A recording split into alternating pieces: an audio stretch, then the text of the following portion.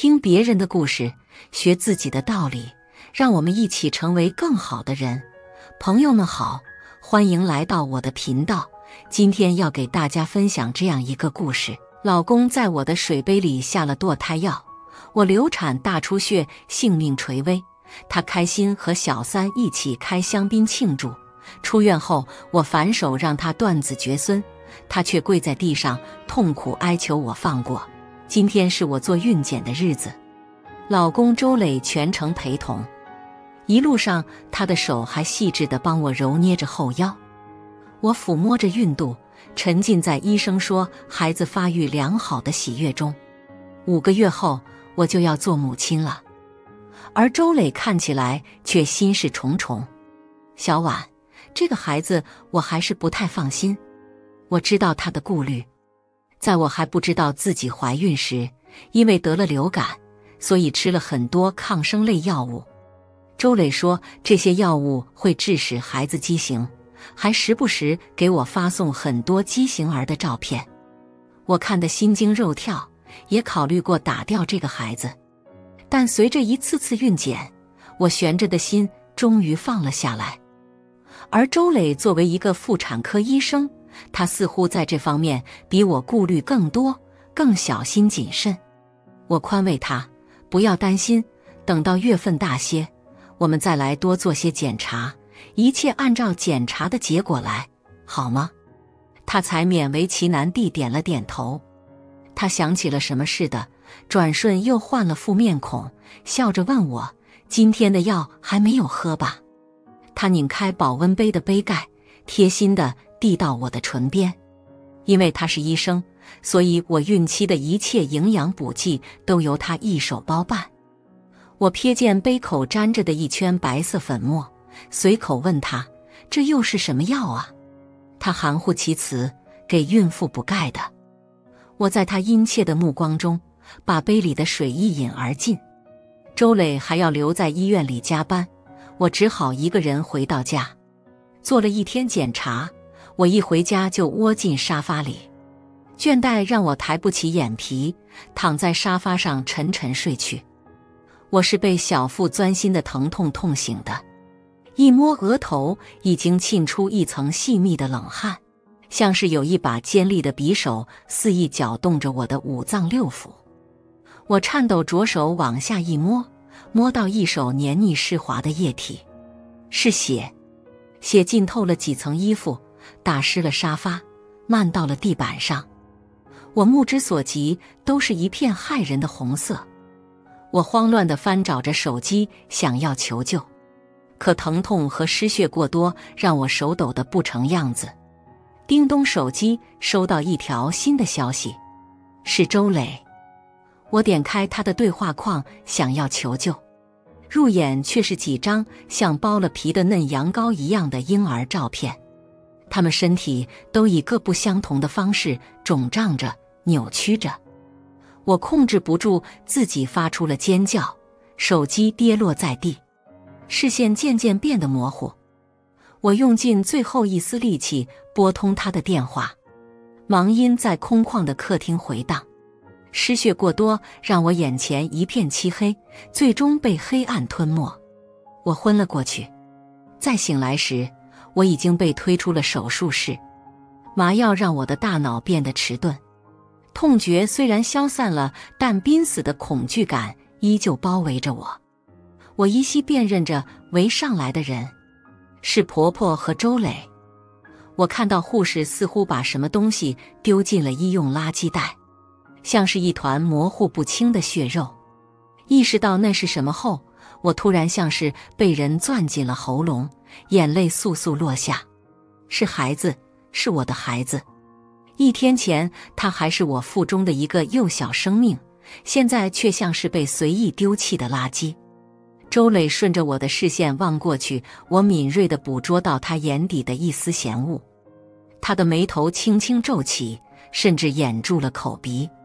电光火石间，一个念头在我脑海中划过：周磊并不想要这个孩子。我引产加上大出血，几乎在手术台上丢掉了半条命。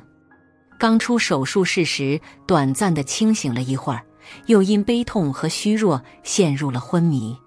当我再睁开眼，周磊却不在身边，只有婆婆拿着一块毛巾准备给我擦脸。我的声音阴哑的可怕：“妈，周磊呢？”我拿起床头的手机，再次给他拨通了电话，依旧是忙音。无论是晕倒前的那些图片，还是他在手术室外的那个眼神，再到现在的不见人影，都像一根刺一样扎在我的心里。婆婆没好气的把毛巾摔在脸盆里：“去哪？当然是上班赚钱啊！你住这个单人病房，一天要花我儿子多少钱？家里哪有这么多钱给你烧？”我气急反笑：“怎么，你不花你老公的钱，你还想花别人的钱？这我可不敢学。”他似乎恨我从他身边抢走了儿子。自从结婚到现在。每次见面都会找茬跟我吵架，所以我们从没有好好相处过。一开口就像是世界大战。我的话一出口，他正在原地，好像是没想到我刚从昏迷中醒来就战斗力超强。虽然我的小腹仍在隐隐作痛，丧子的悲伤也萦绕在我的心头，但趁我病，想要我命，没门。婆婆的脸红一阵紫一阵，她在病房里像一头发疯的狮子一样咆哮：“你这个不下蛋的母鸡，和小磊结婚五年，肚子没一点动静，好不容易怀了，又这么没用，连个孩子都保不住，不知道小磊到底看上你什么？”他的声音立刻引来了不少人在我病房前围观，我见势立刻装起柔弱。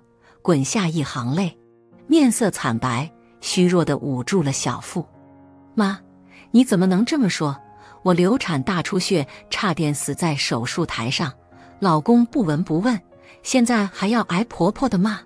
你们，你们真的欺人太甚！好一出柔弱媳妇恶婆婆！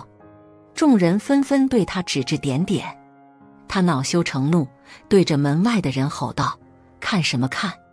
妈！”我这么久没怀孕，也都是因为我装作难以启齿，似乎下了很大的决心，才声泪俱下的说：“是因为他不行啊，连这个孩子都是我们做了很久试管才怀上的。”他涨红了脸：“你到底在胡说什么？”我的确是胡说。周磊就在这里上班，估计这个消息很快就会传遍整间医院。打蛇要打七寸。而婆婆的七寸就是她的宝贝儿子，而周磊，无论是我晕倒前的照片，还是他现在的消失，都让我心寒。我从来不是会忍气吞声的人，直到护士来了，驱散了众人，才结束了这场闹剧。婆婆狠狠白我一眼，怒气冲冲地离开病房。我知道她一定是去向周磊告状。我悠闲地躺回床上。等着周磊来跟我算账，顺便在家政服务软件上请了一位最贵的护工，刷周磊的卡。倘若一直让婆婆照顾我，恐怕我会更快归西。周磊赶来病房时，我正在喝护工帮我买来的鸡汤，他的衬衣领口熨烫的没有一丝褶皱，整个人神采奕奕，甚至身上还有淡淡的香水味。更衬得病床上的我憔悴虚弱，看起来失去孩子这件事并没有影响他一丝一毫。他面色不善，压着怒气问我：“是你说我不行？你知不知道现在单位已经传遍了？”我冷笑：“要不是我这样说，估计我现在都还见不到你吧？我在家昏倒的时候打电话你不接，还是邻居听到我尖叫才报了警。”大出血刚下手术台，你也不闻不问，你心里没有我，更没有这个孩子，我都不敢想，如果没有这个好心的邻居，我会怎么样？可能会因为失血过多，死在那个寂静的客厅。他结结巴巴的解释：“那那我不是在忙吗？哦，现在不忙了，有空来质问我了。”他被我怼得哑口无言，沉默良久。最终才缓和了脸色，脸上堆着笑来哄我。可我只觉得他脸上的笑虚假而刺眼。他说：“你刚做完手术，生这么大气对身体不好。我不是来质问你，只是听妈说你醒了，这不就立刻赶过来了。”我好像不认识面前这个与我同床共枕五年的人。我盯着他看了很久，才开口：“你怎么做到失去了孩子还像个没事人的？”想到那些没日没夜的孕吐，想到酸痛的后腰。想到一个小生命在我肚皮之下微弱的胎动，我的眼泪又簌簌滚落。我和周磊这次谈话不欢而散，而怀疑的种子一旦埋下，就会在心里疯狂生长。我终于在医生来查房时问出了那个我最想问的问题：如果我孕早期不小心吃了抗生素，会不会导致胎儿畸形呢？医生笑了笑。是有这种几率，但只有长期服用才有可能导致这种情况。我的心里惊涛骇浪，这和周磊和我说的完全不一样。而因为他妇产科医生的身份，我从没有对他的话产生过怀疑。我的心砰砰直跳，但仍不死心的追问。那我看到网上说致畸的概率很大，我自己也在网上搜过。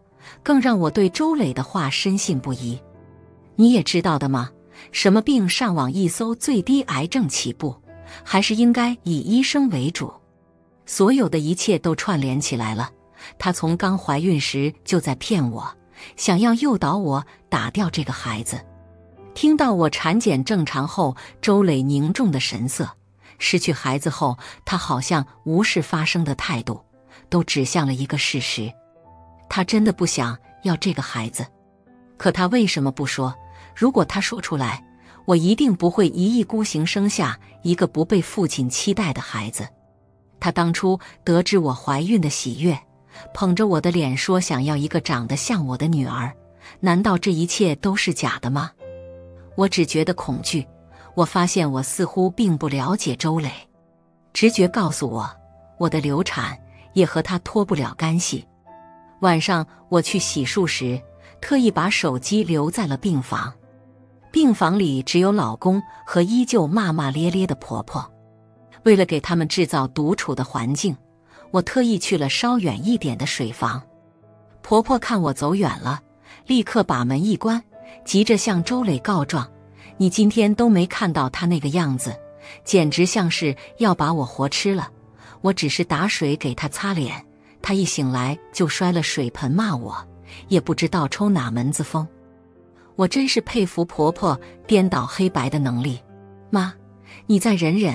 他爸妈说今年打算全款给他买套房子，写我们俩的名字，到时候我俩离婚起码能分到一半。等房子到手，我就跟他离婚，给你换个听话的儿媳妇，一定不和你作对。你和小丽还处着吗？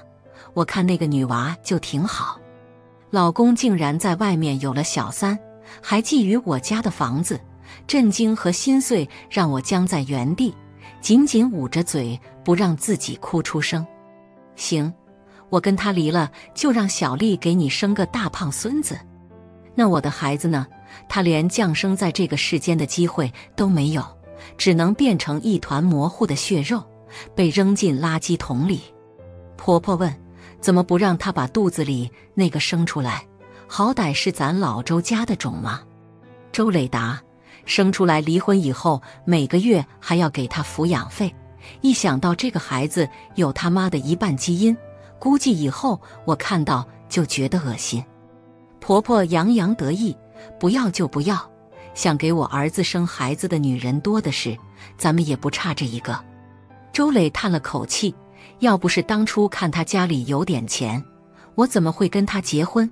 我说他两句，他得对三句，哪有点当人妻子的样子？我这几年在他面前釜底做小，演戏真是演够了。婆婆宽慰他，这种脾气的女人跟你离了以后也没人要。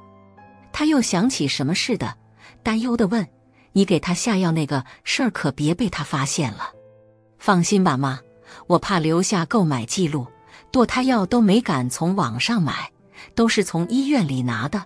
他这个蠢货发现不了的，估计现在都还以为我是对他言听计从的好老公呢。婆婆夸他，我儿子就是聪明。妈，你是不知道，别的孕妇到了七八个月才会长妊娠纹，她才五个月就长了一肚子，像个裂开的破皮球，也不知道保养保养，看了让人没一点兴致。他们说到兴头上。丝毫没有注意我留下的那部手机早已打开了录音功能，而听到这些录音的我，遍体生寒，瘫坐在地。原来我的爱情，我的婚姻，一切都是假的，甚至连周磊这个人都是虚假的。他从大学时就开始追我，我被他的锲而不舍打动。虽然这段恋情被我爸妈所反对，他们觉得门不当户不对。而且有个厉害且粗鄙的婆婆，嫁过去肯定会受气。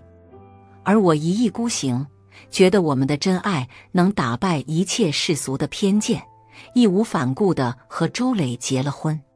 父母也只好妥协，甚至出钱给我们办了婚礼，还在工作上也给了周磊很多助力，他才能在这家医院坐稳这个位置。就连我们婚后住的房子也是爸妈的。我和周磊也一直是朋友们眼中的模范夫妻，这些虚假的甜蜜让我看不清眼前的现实。当真相赤裸裸的摊开在我面前时，我才发现我的爱情是多么的愚蠢可笑。周磊竟然利用职务之便，在我的水里下药，险些害得我一尸两命，而他还做着分到我的一半财产后再娶小三。一家三口其乐融融的美梦，血债只有血能来偿。我在黑暗中攥紧了双手，指甲刺进了掌心。这次我一定不会善罢甘休。我在医院休养了几天，便回到了家。跟我们一起回来的还有婆婆，美其名曰照顾我，但我知道一定不会这么简单。没关系。我有的是时间和精力跟这两个凶手斡旋。我回到家的第一件事就是下单了许多针孔摄像头，保证家里的每个角落都尽收眼底，但又不能被周磊和婆婆察觉。布置好这一切后，我终于松了一口气。而婆婆在这时敲响了我的房门，她殷勤地为我送上了一碗鸡汤。小婉呢？这是妈熬了几个小时的鸡汤，给你补身子的。我在心里冷笑：黄鼠狼给鸡拜年，没安好心。既然他要演戏，那我就和他一起喽。我也学着他的样子，皮笑肉不笑。谢谢妈，不过我现在不饿，你就放这儿吧，我一会再喝。婆婆不放心的嘱咐：“那你一定要喝呀。”离开卧室时还不放心的一步三回头，殊不知他刚刚在厨房里的小动作已经被我尽收眼底。他先用擦地的抹布擦了擦这口砂锅，又在熬鸡汤时倒进入一些白色的粉末，最后仍不解气的朝里面唾了一口唾沫。这汤可真是五毒俱全啊！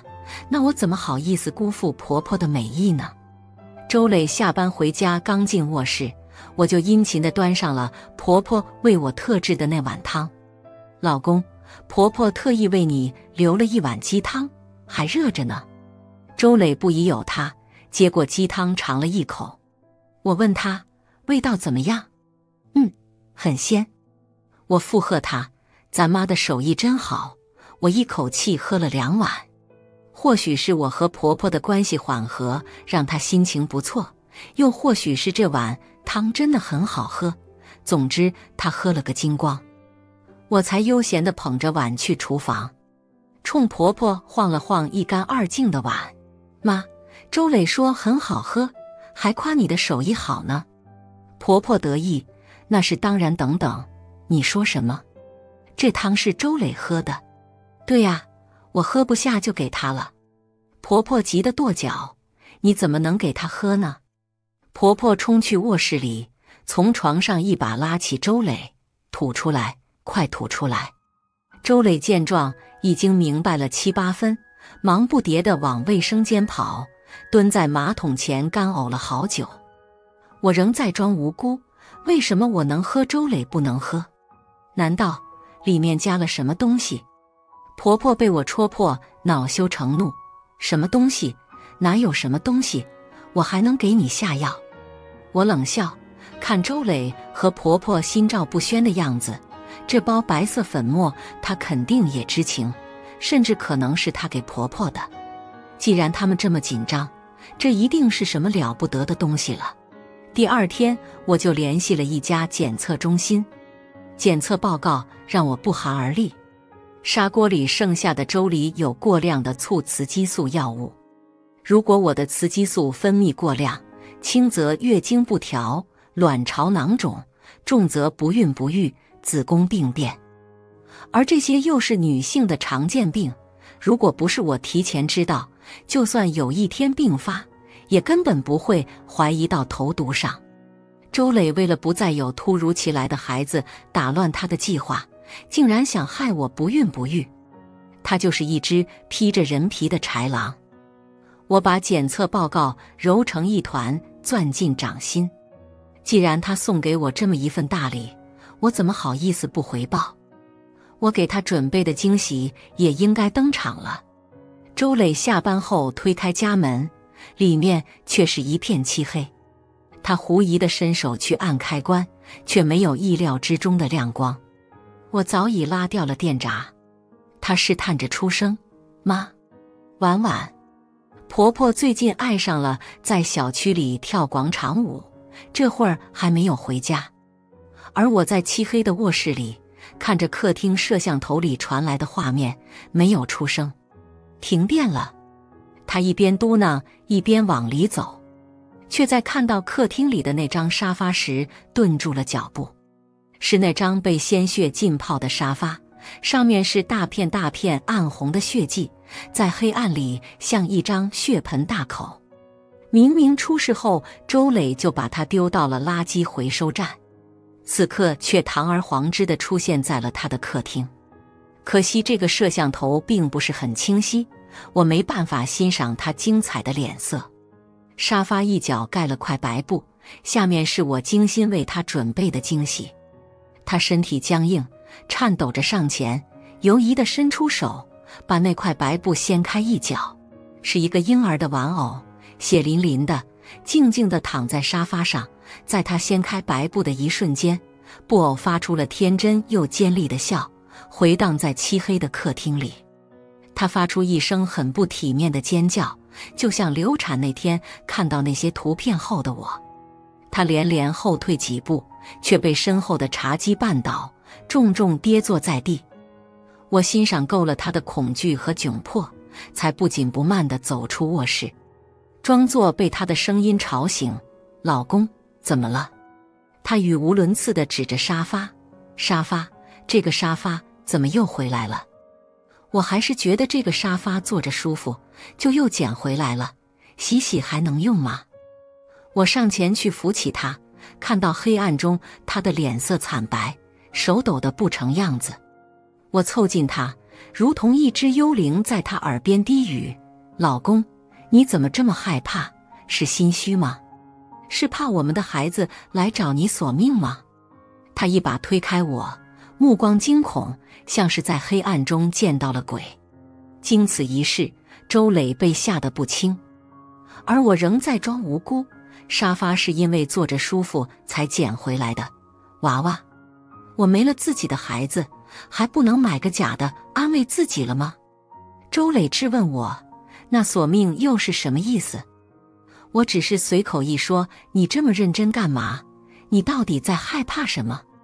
他当然不相信我的这套说辞，但也无言以对。而我的报复远远还没有结束。他掀开被子准备睡觉时，会发现沾了血的布玩偶。他拆开快递，里面是一支录了婴儿啼哭的录音笔。他在凌晨四点按亮手机。屏保是他曾经发给我的畸形婴儿照片，他总是怒气冲冲的来质问我，又被我装傻挡回去。他碍于房子还没到手，不敢与我撕破脸，明面上还要装二十四孝好老公，只能哑巴吃黄连，有苦难说。他的精神在这些钝刀子磨肉似的恶作剧里，一天接一天的衰弱下去，而他的忍耐似乎也到了极限，很多次旁敲侧击的问我：“爸妈到底什么时候给我们买房？”哦，这就等不及了，真正的惩罚还没开始呢。我看着他憔悴的样子，心情大好，在家开了瓶红酒庆祝。却又在我的红酒杯底部发现了熟悉的、还没融化的白色粉末。上次那件事后，我从不吃婆婆做的饭，离开自己视线的水也不会再喝，不给他们一丝机会。但没想到他们竟然还没放弃。我晃着杯中的红酒，既然他们把药送进我的手里，那我只好以其人之道还治其人之身了。我隔天就买了两个一模一样的杯子，同款不同色。我特意嘱咐周磊：“我的是粉色，你的是蓝色，你别用错了。”我确保我的声音不大不小，能正好让婆婆听见。而周磊正忙着和谁聊天，小三还是小四，我根本不在意。他哦了一声，又问：“之前的那两个呢？”我洗杯子时不小心打碎了。我把两个杯子并排摆在餐桌上，钩子已经放下去，就等于上钩了。我在监控里清晰的看到，婆婆把同样的药撒进了我的那个粉色杯子里，而我装作全然不知，端起水杯，在婆婆殷切的目光里浅抿一口，果然无色无味，却在她转身后把水飞快吐进水池里。并把剩下的半杯尽数倒进了周磊的水杯里。每次婆婆在我的杯子里添了水，我都趁她不注意倒进周磊的水杯。引线我已经埋下，静待着他们爆炸的一天。但在此之前，我接到了一个意料之外的电话，对面是一个听起来很陌生的女生：“你和周磊离婚吧，他爱的人不是你，是我。”哦。是周磊口中那个叫小丽的女人。我正要挂断电话，忙着和周磊斡旋，我现在可没空打小三。但他接下来的一句话却引起了我的注意：连你流产的那晚，他都跟我在一起。流产那晚的事一直是我的逆鳞。我装作慌乱，哽咽着反驳他：“不，不可能！你胡说！你有什么证据？”紧接着，我的手机收到几张图片，上到他们的亲密照，下到聊天记录和转账。周磊呀，周磊，你和我离婚就为了和这么一个蠢女人在一起，蠢到把出轨证据都亲手送到我的手里，都不用我费心去搜罗。我一张张点开这些照片，已经不能让我的内心有丝毫波动。但滑到一张聊天记录时，我的手却顿住了。是我流产那晚他们的合照，周磊和那个叫小丽的女人，一人端着一杯红酒，而小丽亲昵的倚在周磊的怀里。我看了看拍摄时间，是那晚我给周磊打电话后。我的血液似乎凝固了，巨大的愤怒吞没了我。他们在庆祝，他们在庆祝我的流产。周磊的恶毒一次次的突破我的认知，我闭上眼睛，努力平复心情。我在心里酝酿着最后一次重击。接下来几个月还算是风平浪静。一天晨起，周磊在镜子前手握剃须刀，迟疑的摸着自己的下巴，自言自语：“胡子这么久没刮，怎么也没长呢？”我在心里冷笑。看来周磊为我准备的促雌激素分泌药还真不错。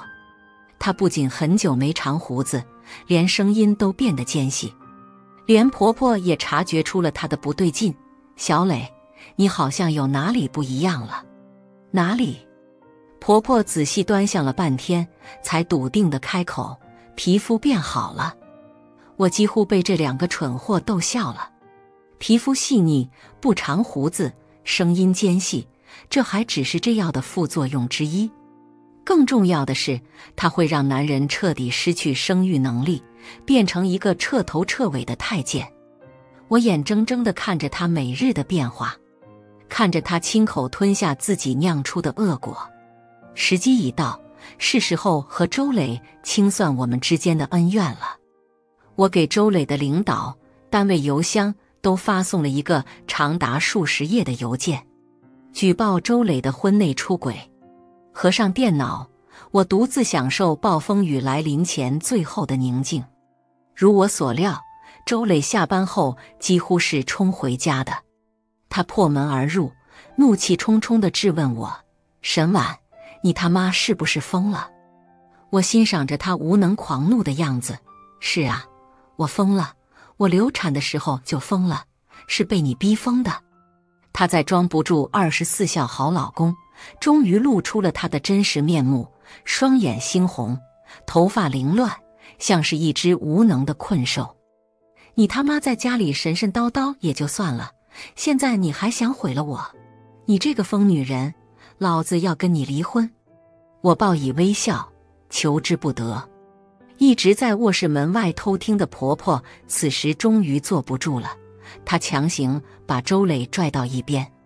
他家的房子还没到手呢，现在离婚对我们没好处。周磊狂躁地抓乱自己的头发，妈，我忍不了了，再这样下去我会疯的。你知道他干了什么吗？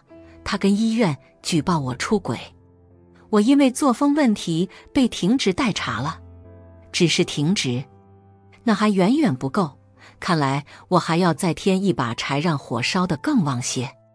那天周磊说完离婚后，我就立刻雇了几个人，把婆婆和周磊的全部行李都丢出了家门。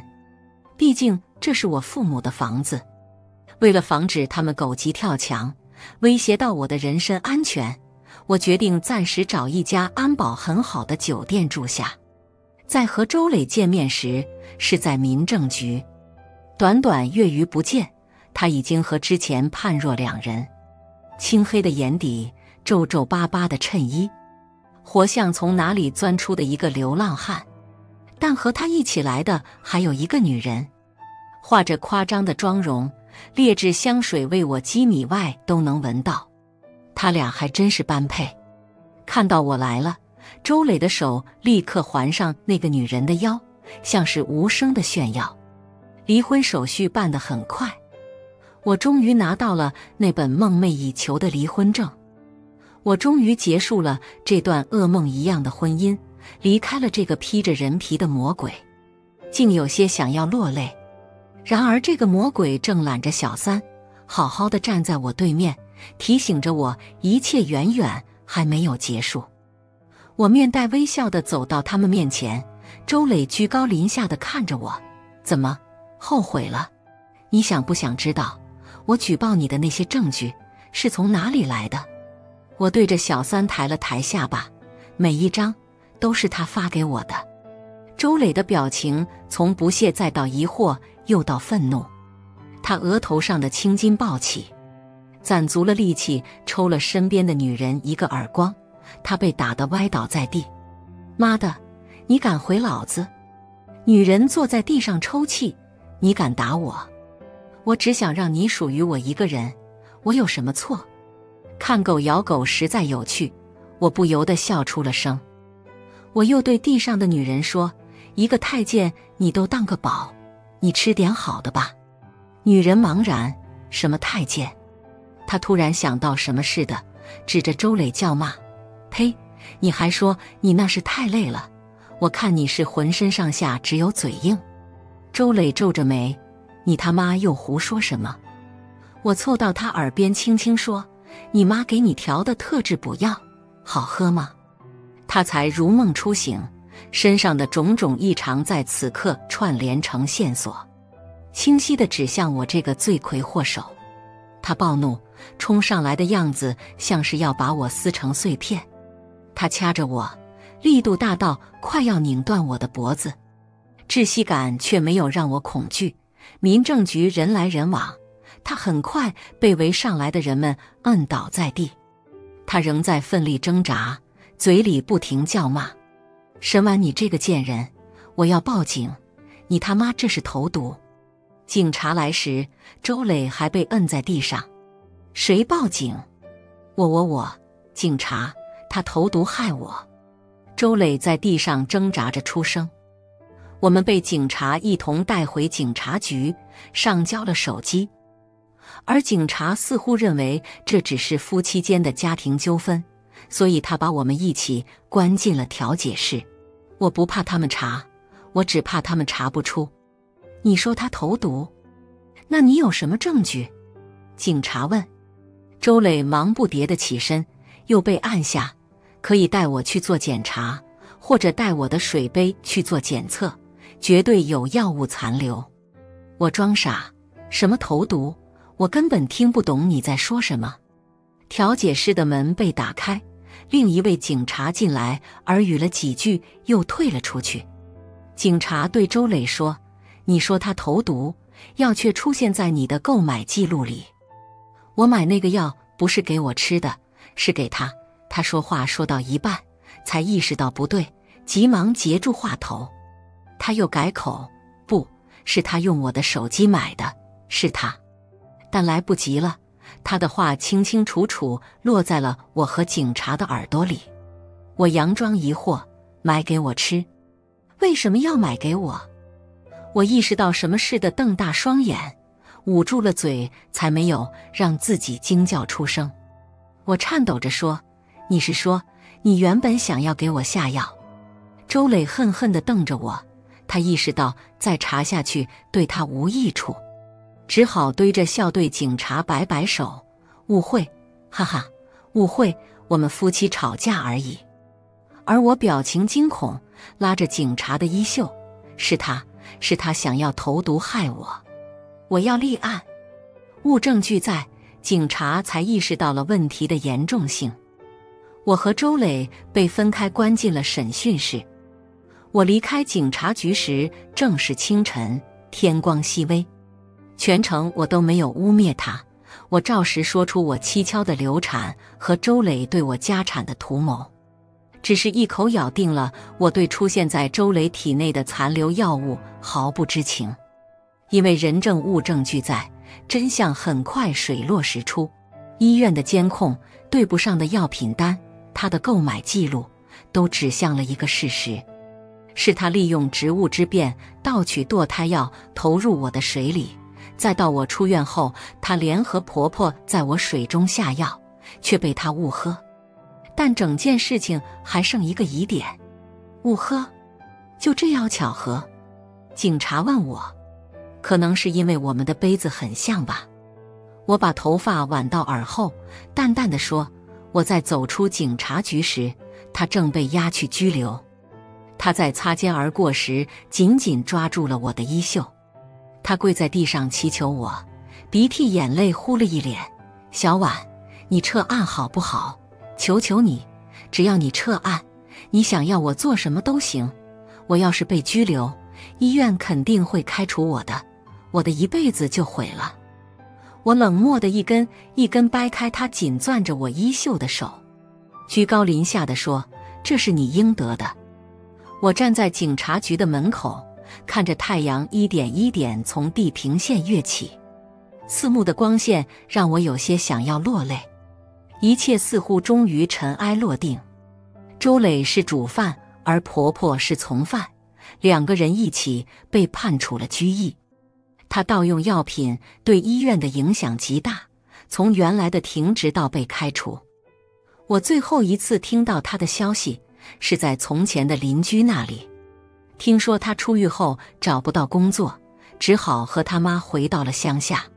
他的身体看了许多医生也没有恢复，小三也甩了他。我听到这一切时，心中却没有意料之中的畅快。我是识人不清。亲手把自己送进了虎狼窝了，又在周磊给我编织那个名为爱情的美梦里沉醉，几乎断送掉了自己的一生。我亲手撕开了幻想，才发现哪里有爱情，不过都是算计和图谋。我对不起的唯有这个孩子，希望我做的这一切能让他安息。对不起，让你成为了妈妈虚假爱情的牺牲品。